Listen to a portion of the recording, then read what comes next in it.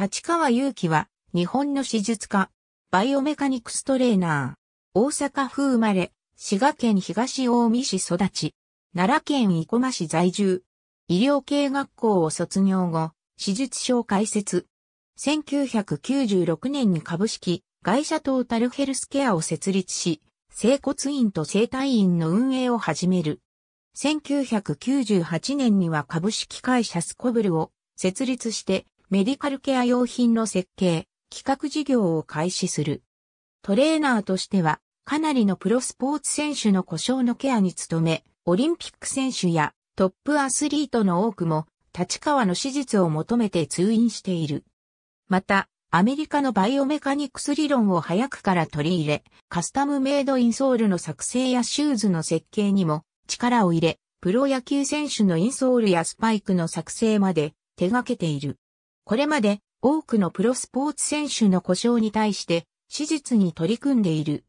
中でもプロ野球選手を受け持つことが多いが、歴史的記録を次々構築している大相撲力士やアテネオリンピック、北京オリンピックの金メダリスト、また、世界選手権の金メダリストも担当している。また、ライオネス・アスカをはじめ、ジャガー、横田などが所属していた、吉本女子プロレスや、ガヤージャパン、LLPW、アルシオンの女子プロレスラーのほとんどの選手の故障に対して、そのケアを立川がトレーナーとして担当していた。その他、数々のトップアスリートも担当している。高校入学後、当初は名門の野球部に所属。一年時担任の教師に騙されて、2年生からレスリング同好会へ入部。滋賀県大会では3階級を制覇。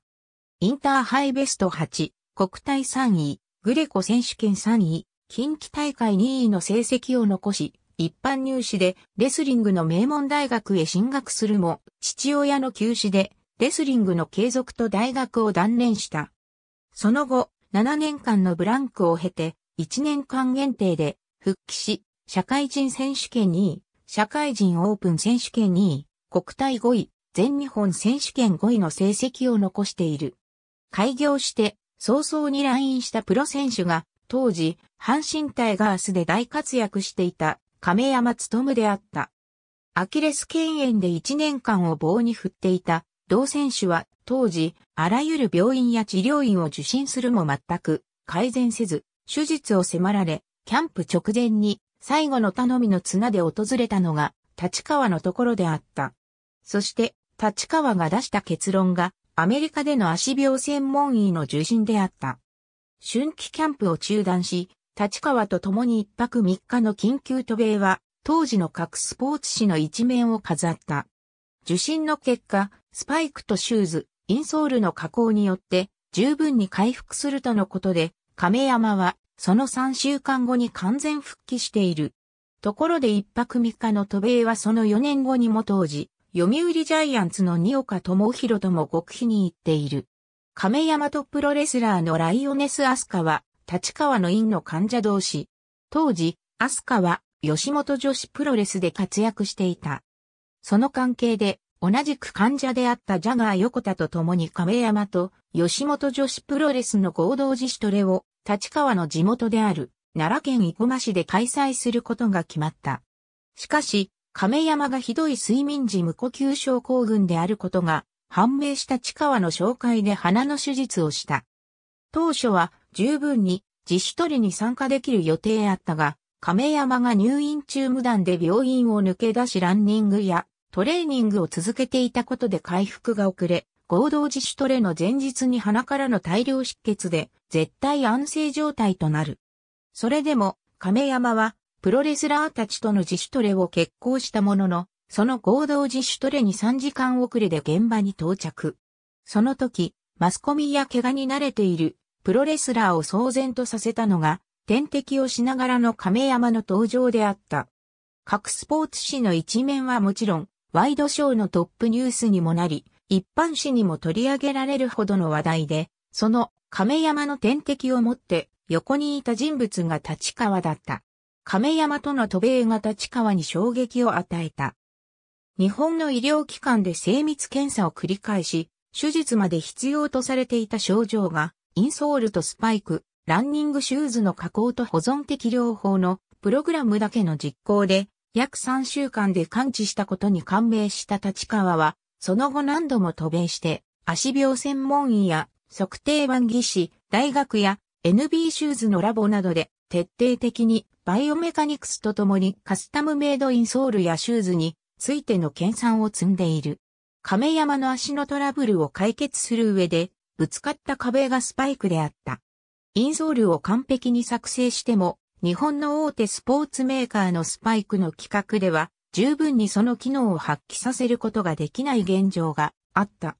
当時、各メーカーを訪ねても、バイオメカニクス理論の理解さえしてもらえず、全く相手にされなかった立川は自らスパイクを企画設計することを決意した。そして、唯一理解を示した岡山県のスパイク職人に製造を依頼し、立川の理論を取り入れたスパイクを完成させた。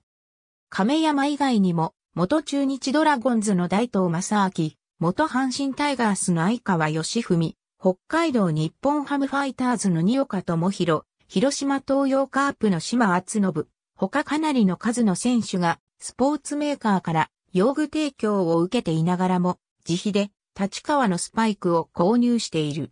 立川がプロ選手やオリンピック選手などのトップアスリートのアップシューズとしてバイオメカニクスの理論上、最も勧めているメーカーがニューバランスシューズ。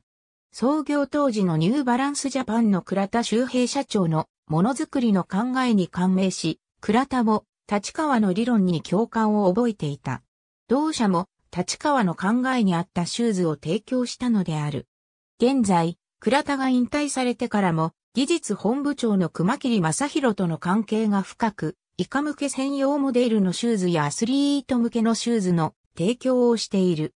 なお、ニューバランスのイカ向けシューズは、立川の会社である株式会社スコブルに唯一提供されて、全国の技師装具会社や病院に流通されている。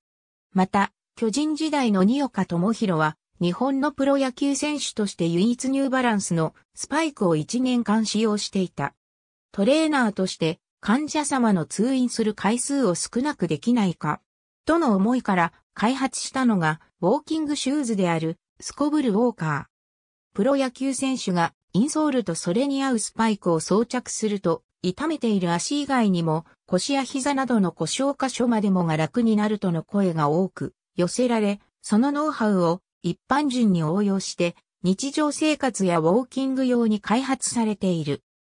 アメリカの足病専門医や測定版技師、トレーナーと設計、開発を最初から行っている本格的な製品でシューズにインソールを合わせるというこれまでの一般的な考え方を覆し、インソールの機能を基本に考え、それに合うシューズを作成したという新しい発想で作られている。その新しい足への感覚が受け入れられ、テレビ通販をはじめ、各通販雑誌にも足の歪みをコントロールさせて、全身の歪みを正すシューズとして、頻繁に紹介されている。累計数で70万足を売り上げ、通販史上一つモデルのシューズとしては1年間で最も購入されたシューズである。今なお、その記録は破られていない。立川自らが発言している。その原因は、足の歪みですのキャッチフレーズのインパクトを受けたことが大ヒットを生んだとの業界筋の話もある。一部の説によると、このシューズの開発は倒産しかかっていた知り合いの会社を救うためにやむを得ず開発したシューズだとも言われている。スコブルウォーカーの売り上げが全盛期の時に突然すべてのテレビ通販の放映が打ち切られた。あまりの大量注文に工場の生産が追いつかず、欠品状態が続いた上、不良製品が続発し、そしてその不良分までもが流通しだしたのである。その不良をたまたま立川が見つけて、直ちに深夜にタクシーを飛ばして、奈良県から岡山県にあるシューズの倉庫まで急行し、徹夜の状態で検品作業と不良品の仕分け作業を行ったのである。しかし後日、その避けてあった不良品が倉庫からなくなっていることが発覚し、その不良品を立川に無断でテレビ通販会社が流通していたことが判明。患者様への配信行為と激怒した立川は、テレビ通販を取りまとめていたエージェントとの契約を不履行として解約したのである。それと同時にテレビ通販も打ち切ったのである。エージェントからすれば外見上問題がないと判断して流通させたと主張しているが、製造したメーカーは立川の規格に合わないシューズを作成したことを認め、謝罪している。立川曰くは足の歪みをコントロールさせるシューズ自体が歪んでいて、どうするんだと言い、通常のメーカーの規格では合格するシューズの歪みも、機能的なクオリティに厳格であった立川は、売り上げを最優先に考えていた、当時のエージェントを絶対に許さなかった。一部の説によると、テレビ通販会社が当初の計画を大幅に上回る発注を繰り返したため、製造元のキャッシュフローが間に合わないために、製造会社の黒字倒産を避けようとして、テレビ通販の打ち切りを決断したとの情報もあるが、定かではない。NHK サンデースポーツ、MBS ナウ、テレビ朝日チー散歩、朝日放送マイラックマイウェイ、テレビ徳島フレッシュ情報局、高知放送ジャラニモーニング、フジテレビ CX スポーツ、FM コーチルパンザ 3S の番組などに出演している。なお、プロレス関係の番組では、リングドクターとして映っているところをよく見かけられていた。通販番組では、プライムテレビショッピング、作は、その他多数。ありがとうございます。